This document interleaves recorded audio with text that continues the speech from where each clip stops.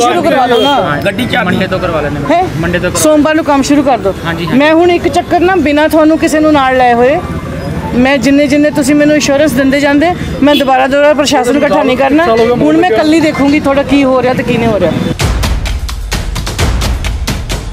ਬਾਜ਼ਾਰ ਵਾਲਿਆਂ ਨੂੰ ਇੱਕ ਤਾਂ ਜਿਹੜਾ ਸਾਡੀਆਂ ਤਾਰਾਂ ਬਹੁਤ ਜ਼ਿਆਦਾ ਉਹ ਦੂਸਰਾ ਇਹ ਚਰਸੀ ਗੇਟ ਦਾ ਮੁੱਦਾ ਜਿਹੜਾ ਬਹੁਤ ਦੇਰ ਦਾ ਈਓ ਸਾਹਿਬ ਕਿੱਦਣ ਸਟਾਰਟ ਕਰਵਾ ਦੋਗੇ? ਨਾਲਾ ਸਾਫ਼ ਕਰਨਾ ਟੈਂਡਰ ਲਾਉਣਾ ਇਹਦਾ ਕਿੱਦਾਂ ਹੋ ਜਾਊਗਾ? ਇਹ ਇਹ ਇਮੀਡੀਏਟਲੀ ਸਾਫ਼ ਕਰਵਾ ਦਿੰਦੇ ਆ ਔਰ ਜਿਹੜਾ ਸਾਡਾ ਸੀਵਰੇਜ ਆ ਉਹ ਸਾਡਾ 10 ਕੁ ਦਿਨ ਦੇ ਵਿੱਚ ਅਸੀਂ ਸਟਾਰਟ ਕਰਾਂਗੇ। ਇਦਾਂ ਦੀਆਂ ਕੁਝ ਕੁਝ ਸਮੱਸਿਆਵਾਂ ਜਿਹਨਾਂ ਸ਼ਹਿਰ ਰੋਜ਼ ਦੋ ਚਾਰ ਹੁੰਦਾ ਆ, ਉਹ ਸਮੱਸਿਆਵਾਂ ਅੱਜ ਜਿਹੜੇ ਸਾਡੇ ਮਾਨਯੋਗ ਐਮਐਲਏ ਸਾਹਿਬ ਹੈਗੇ, ਇਹਨਾਂ ਨੂੰ ਦਿਖਾਈਆਂ ਵੀ ਆ। ਤੇ ਅੱਗੇ ਵੀ ਜੋ ਅੱਗੇ ਹੋਰ ਆਪਣਾ ਦੋ ਤਿੰਨ ਜਗ੍ਹਾ ਜਾਣਾ ਆ, ਤੇ ਉੱਥੇ ਜਾ ਕੇ ਜੋ ਸਮੱਸਿਆ ਉੱਥੇ ਹੈਗੀ, ਉਹ ਵੀ ਦੇਖਦੇ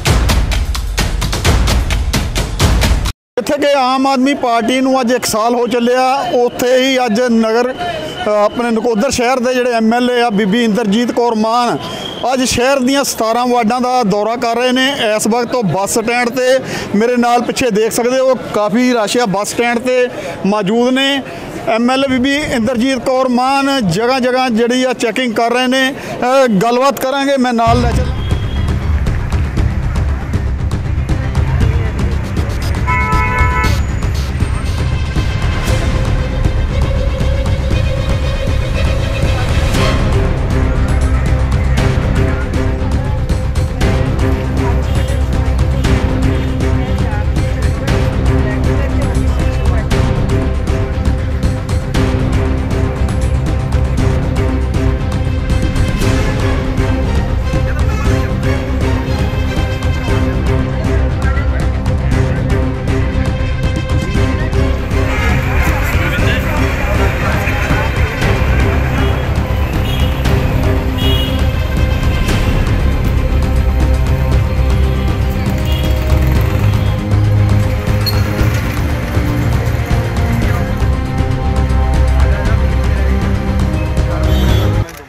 ਐਮਐਲਏ ਵਿਧਾਇਕ ਬੀਬੀ ਇੰਦਰਜੀਤ ਕੌਰ ਮਾਨ ਇਸ ਵਕਤ ਨਗੋਦਰ ਦੇ ਚਰਸੀ ਗੇਟ ਦੇ ਵਿੱਚ ਪਹੁੰਚੇ ਨੇ, ਚਰਸੀ ਬਾਜ਼ਾਰ, ਜਿੱਥੇ ਕਿ ਇੱਥੇ ਸੀਵਰੇਜ ਦਾ ਜਾਮ ਲੱਗਾ ਰਹਿੰਦਾ ਆ।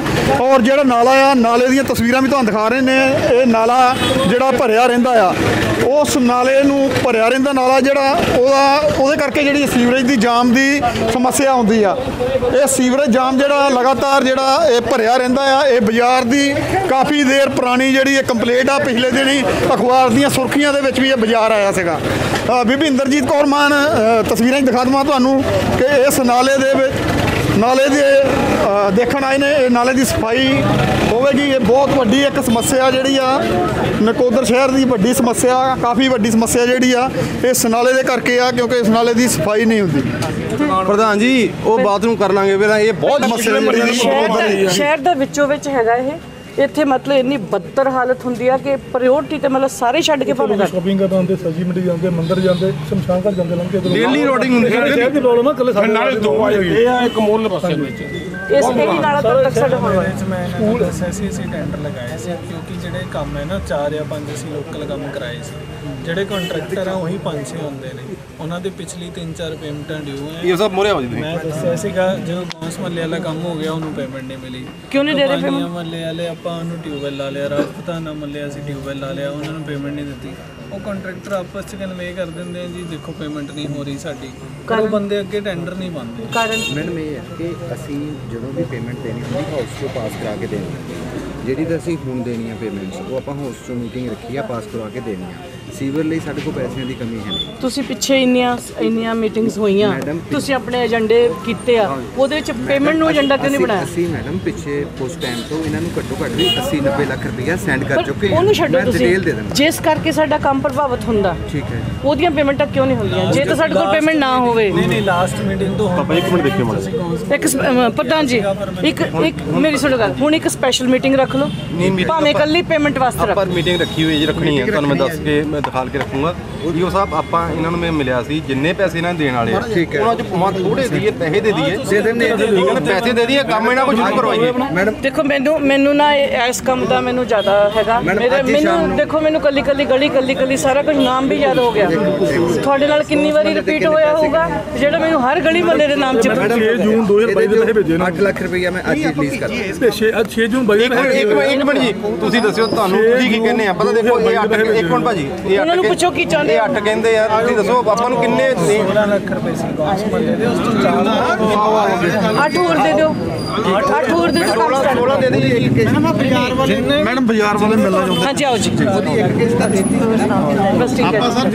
ਤੁਹਾਡੀ ਪ੍ਰੋਬਲਮ ਹੱਲ ਕਰਨਾ ਬਹੁਤ ਮਿਹਰਬਾਨੀ ਤੁਹਾਡੀ ਨਹੀਂ ਕਿ ਮੇਰੀ ਅਸੀਂ ਨਰਕ ਚੋਂ ਨਿਕਲਾਂਗੇ ਜੀ। ਨਹੀਂ ਕਰ ਹੋ ਜਾਊਗਾ ਜਲਦੀ ਹੋ ਜਾਊਗਾ ਅਸੀਂ ਸਵੇਰੇ ਦੁਕਾਨ ਖੋਲੀ ਮੈਡਮ ਸਾਨੂੰ ਇੰਨੀ ਮੁਸ਼ਕਲ ਹੋ ਜਾਂਦੀ ਹੈ ਨਾ। ਕੋਈ ਨਹੀਂ ਕੋਈ ਨਹੀਂ ਕਰਦੇ ਪੈਰ ਚੱਕ ਕੇ ਕ੍ਰੇਟ ਰੱਖ ਕੇ ਲੰਘਣਾ ਪੈਂਦਾ। 1200 ਨੂੰ ਦੇ ਦਿਓ ਤੇ ਅਸੀਂ ਕੰਮ ਸ਼ੁਰੂ ਕਰਵਾ ਦਿੰਦੇ ਆ 12 ਅਸੀਂ ਅੱਗੇ ਹੀ ਦੇ ਦਿੰਦੇ ਠੀਕ ਹੈ ਜੀ? ਬਾਕੀ ਇਹਨਾਂ ਇਹਨਾਂ ਕੋਲੋਂ ਦੇਖੋ ਇੱਕ ਮਿੰਟ ਜੀ ਇਹਨਾਂ ਕੋਲੋਂ ਇੰਸ਼ੋਰੈਂਸ ਤੁਸੀਂ ਲੈ ਲਓ। ਹਾਂਜੀ। ਮੈਮ ਇੰਸ਼ੋਰੈਂਸ ਹੈ ਕਿ ਫਿਰ ਟੈਂਡਰ ਪਵਾਉਣਾ ਹੈ ਨਾ ਮੇਰਾ ਹਾਂ, ਉਹ ਹੋਏਗਾ ਤਾਂ- ਮੈਨੂੰ ਕੰਟਰੈਕਟਰ ਫਿਰ ਆ ਨਹੀਂ ਕਹਿਣਗੇ ਜੀ ਇਹਦੇ ਸਾਡੀ ਟੈਂਡਰ ਮੁੜ ਕੇ ਸਾਡੇ ਹੱਥ ਨਹੀਂ ਆਉਂਦੇ ਜੀ। ਟੈਂਡਰ ਹੋਇਆ ਨਹੀਂ। ਮੇਰੀ ਮੈਂ ਮੈਂ ਸਰ ਨਹੀਂ ਮੈਡਮ ਐਕਸਿਸ ਮੈਡਮ ਇੱਕ ਮਿੰਟ। ਇਹ ਕਹਿੰਦੇ 16 ਸਾ- ਇਹਨਾਂ ਦੇ ਟੈਂਡਰ ਲਾਉਣ ਲਈ 16 ਲੱਖ ਰੁਪਏ ਦੀ ਲੋੜ ਨਹੀਂ ਮੈਡਮ ਇਹਨਾਂ ਨੂੰ ਅਸੀਂ ਪਹਿਲੀ 25% ਤਾਂ ਭੇਜ ਹੀ ਚੁੱਕੇ ਹਾਂ। ਬਾਕੀ ਤਾਂ ਅਸੀਂ ਉਸਲੇ ਭੇਜਣਾ ਜਿਸਲੇ ਕੰਮ ਹੋ ਗਿਆ। ਤੁਸੀਂ ਦੇ ਦਿਓ ਪੈਸੇ ਪੁਰਾਣੇ ਤਾਂ ਦੇ ਦਿਓ। ਤੁਸੀਂ ਇਹ ਸਭ ਮਿਕਸ ਕਰ ਰਹੇ ਹੋ। ਮੰਨ ਲਓ ਚਾਰ ਕੰਮ ਹੋਏ ਪਿਛਲੇ 6 ਮਹੀਨਿਆਂ 'ਚ। ਠੀਕ ਹੈ ਜੀ ਤੁਸੀਂ ਮੈਡਮ ਇਸ ਕੰਮ ਦੇ 25% ਦੇਤੇ। ਠੀਕ ਹੈ ਜੀ। ਜਿਹੜੇ ਬਾਕੀ ਕੰਮ ਹੋ ਗਏ ਕੰਪਲੀਟ ਹੋ ਗਏ ਕੰਪਲੀਟ ਹੋਏਗੀ 25% ਹੀ ਪੇਮੈਂਟ ਹੋਏਗੀ ਐਕਸ਼ਨ ਸਾਹਿਬ ਮੈਂ ਮੈਂ ਬੇਨਤੀ ਇਹ ਕੀਤੀ ਸੀ ਜੀ। ਇੱਕ ਮਿੰਟ ਅੱਜ ਹੀ ਪੇਮੈਂਟ ਕਰ ਦਿਓ। ਹੋ ਜਾਊਗੀ ਮੈਡਮ ਔਰ ਚੋਣ ਜਾਬਤਾ ਲੱਗ ਜਾਣਾ ਉਦੋਂ ਪਹਿਲਾਂ ਟੈਂਡਰ ਲਾ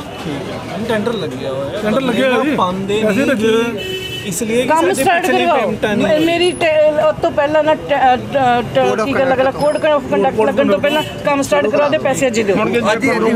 ਅੱਜ ਦਾ ਮਤਲਬ ਅੱਜ ਕੰਮ ਨਹੀਂ ਹੋ ਜਾਊਗਾ ਅਸੀਂ ਇਹਨੂੰ ਸੀਵਰ ਨੂੰ ਨਾ ਅੱਗੋਂ ਸਬਜ਼ੀ ਮੰਡੀ ਦੇ ਵਿੱਚ ਜੋੜ ਦਈਏ।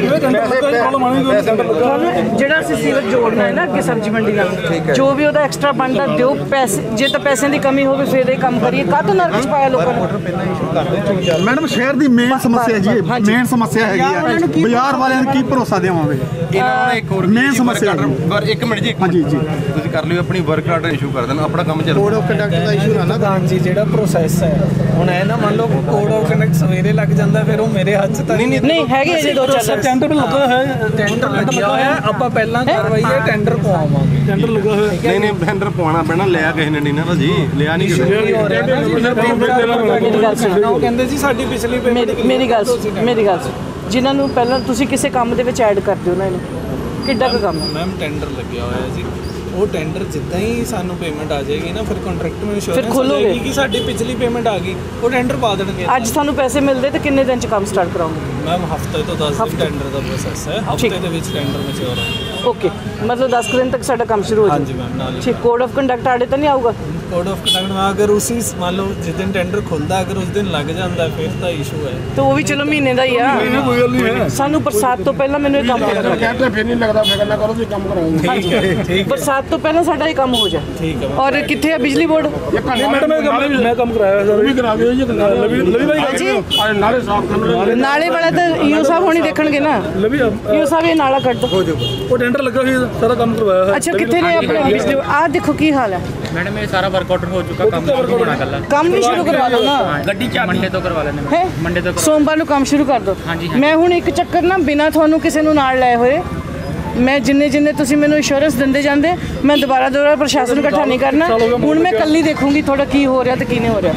ਠੀਕ ਹੈ ਨਾ? ਰਾਉਸ ਨੂੰ ਸੋਮਵਾਰ ਬਾਜ਼ਾਰ ਵਾਲਿਆਂ ਨੂੰ ਭਰੋਸਾ ਬਾਜ਼ਾਰ ਵਾਲਿਆਂ ਨੂੰ ਭਰੋਸਾ ਦੇ ਦਿਓ ਜੀ ਕੀ ਲੈਣਾ ਬਾਜ਼ਾਰ ਵਾਲਿਆਂ ਨੂੰ ਇੱਕ ਤਾਂ ਜਿਹੜਾ ਸਾਡੀਆਂ ਤਾਰਾਂ ਬਹੁਤ ਜ਼ਿਆਦਾ ਉਹ ਦੂਸਰਾ ਇਹ ਚਰਸੀ ਗੇਟ ਦਾ ਮੁੱਦਾ ਜਿਹੜਾ ਬਹੁਤ ਦੇਰ ਦਾ ਈਓ ਸਾਹਿਬ ਕਿਦਾਂ ਸਟਾਰਟ ਕਰਵਾ ਦੋਗੇ ਨਾਲਾ ਸਾਫ਼ ਕਰਨਾ ਟੈਂਡਰ ਲਾਉਣਾ ਇਹਦਾ ਕਿਦਾਂ ਹੋ ਜਾਊਗਾ? ਅਸੀਂ ਆਪਣੇ ਬੰਦੇ ਕੋਈ ਇਹ ਇਹ ਇਮੀਡੀਏਟਲੀ ਸਾਫ਼ ਕਰਵਾ ਦਿੰਦੇ ਆ ਔਰ ਜਿਹੜਾ ਸਾਡਾ ਸੀਵਰੇਜ ਆ ਉਹ ਸਾਡਾ 10 ਕੁ ਦਿਨ ਦੇ ਵਿੱਚ ਅਸੀਂ ਸਟਾਰਟ ਕਰਾਂਗੇ। ਠੀਕ ਹੈ? ਜੇ ਇਨ ਕੇਸ ਵਿੱਚ ਕੋਡ ਲੱਗ ਗਿਆ ਫਿਰ ਸਾਨੂੰ 1 ਮਹੀਨਾ ਲੱਗ ਸਕਦਾ ਅਦਰਵਾਈਜ਼ ਅਸੀਂ 10 ਦਿਨ ਚ ਕੰਮ ਸ਼ੁਰੂ ਕਰਾਂਗੇ। ਠੀਕ ਹੈ ਜੀ ਥੈਂਕ ਯੂ ਸਭ ਤੋਂ ਪਹਿਲਾਂ ਸਵਾਗਤ ਤੁਹਾਡਾ ਏਕਤਾ ਲਹਿਰ ਦੇ ਥੈਂਕ ਯੂ ਜੀ ਢਿੰਗਰਾ ਸਾਹਿਬ ਤੁਹਾਡੀ ਵੀ ਬੜੀ ਮਿਹਰਬਾਨੀ ਤੁਸੀਂ ਆਏ ਹੋ।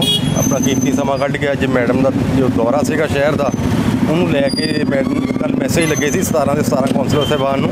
ਔਰ ਸਾਰੇ ਹੀ ਕੌਂਸਲਰ ਸਾਹਿਬਾਨ ਜਿਹੜੇ ਆ ਉਹ ਐਸਡੀਐਮ ਆਫਿਸ ਪਹੁੰਚੇ ਸੀ। ਔਰ ਜਿਸ ਤਰ੍ਹਾਂ ਜਿਸ ਤਰ੍ਹਾਂ ਜਿਹਦੀ ਇਹਦੀ ਵਾਰਡ ਸੀ ਉਹ ਆਪਣੀ ਆਪਣੀ ਵਾਰਡ ਦੇ ਵਿੱਚ ਉਸ ਬੰਦੇ ਨੇ ਜਿਹੜੀ ਜਿਹੜੀ ਕੋਈ ਦਿੱਕਤ ਪਰੇਸ਼ਾਨੀ ਆ ਰਹੀ ਸੀ ਉੱਪਰਲੇ ਲੈਵਲ ਤੇ ਕਿਉਂਕਿ ਕਮੇਟੀ ਦੇ ਲੈਵਲ ਤੇ ਅਸੀਂ ਹੱਲ ਕਰ ਲੈਂਦੇ ਆ ਪਰ ਕਿਸੇ ਵੇਲੇ ਇਸ ਤਰ੍ਹਾਂ ਹੁੰਦਾ ਜਿੱਦਾਂ ਸੀਵਰ ਬੋਰਡ ਦਾ ਮਹਿਕਮਾ ਵੱਖਰਾ ਆ ਸਭ ਤੋਂ ਜ਼ਿਆਦਾ ਪ੍ਰੋਬਲਮ ਸਾਨੂੰ ਸੀਵਰ ਬੋਰਡ ਦੀ ਆਉਂਦੀ ਹੈ ਸੈਕੰਡ ਥਿੰਗ ਹੈਗੀ ਹੈ ਕਿ ਜਿਹੜੀ ਆਪਣਾ ਟ੍ਰੈਫਿਕ ਹੈਗੀ ਹੈ ਟ੍ਰੈਫਿਕ ਦੀ ਸਮੱਸਿਆ ਜਿਹੜੀ ਸਾਨੂੰ ਬਹੁਤ ਆਉਂਦੀ ਹੈ ਟ੍ਰੈਫਿਕ ਦਾ ਮਹਿਕਮਾ ਵੱਖਰਾ ਟ੍ਰੈਫਿਕ ਵਾਲਿਆਂ ਕੋ ਉਨੇ ਮੁਲਾਜ਼ਮ ਹੀ ਨਹੀਂ ਹੈ ਕਿ ਆਪਾਂ ਟ੍ਰੈਫਿਕ ਕੰਟਰੋਲ ਕਰ ਸਕੀਏ। ਉਹ ਇਦਾਂ ਦੀਆਂ ਕੁਝ ਕੁਝ ਸਮੱਸਿਆਵਾਂ ਜਿਹਨਾਂ ਸ਼ਹਿਰ ਰੋਜ਼ ਦੋ ਚਾਰ ਹੁੰਦਾ ਆ, ਉਹ ਸਮੱਸਿਆਵਾਂ ਜਿਹੜੇ ਸਾਡੇ ਮਾਨਯੋਗ ਐਮਐਲਏ ਸਾਹਿਬ ਹੈਗੇ, ਇਹਨਾਂ ਨੂੰ ਦਿਖਾਈਆਂ ਵੀ ਆ ਤੇ ਅੱਗੇ ਵੀ ਜੋ ਅੱਗੇ ਹੋਰ ਆਪਣਾ ਦੋ ਤਿੰਨ ਜਗ੍ਹਾ ਜਾਣਾ ਆ, ਤੇ ਉੱਥੇ ਜਾ ਕੇ ਜੋ ਸਮੱਸਿਆ ਉੱਥੇ ਹੈਗੀ ਉਹ ਵੀ ਦੇਖ